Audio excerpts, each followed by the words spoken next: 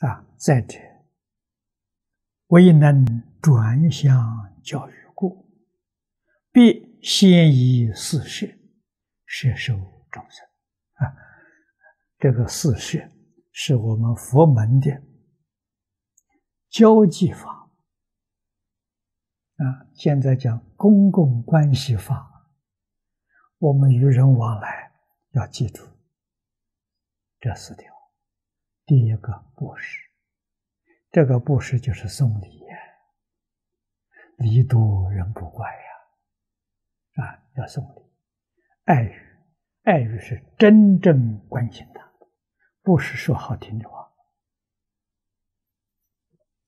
他今天有困难。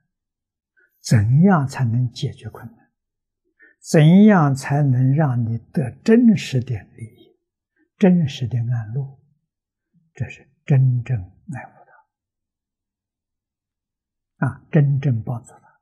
那么，真正的爱语说到究竟处，就是这一部经，就是这一句阿弥陀佛。为什么？它能够帮助你在任何灾难当中。你平安度过啊！这种平安度过，包括在灾难里面呢，随着灾难走了，你到极乐世界去了，平安度过。要懂这个意思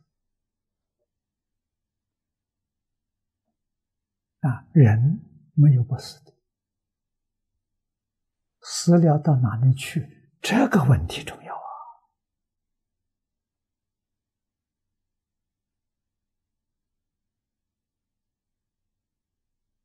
啊，第一个好处就是到极乐世界去做佛去了。其次的这升天呢，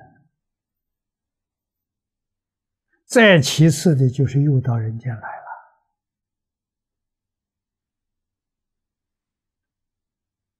啊，上中下三品，我们要取上品，不取中下。啊，我们决定到极乐世界去做佛。啊，你们亲朋好友一定要告诉他，啊，怎样好啊？生生世世在一起，只有到极乐世界，你才生生世世在一起。除这个之外，个人都随业流转，你们业力不一样吗？各有各的去处嘛，你怎么可能在一起呢？只有往生极乐世界在一起。有榜样给我们看，慧远大师，我们敬重处处啊，他做的榜样给我们看。他往生的时候，看到连舍先前往生的人都跟阿弥陀佛一起来接引的，那证明在一起啊。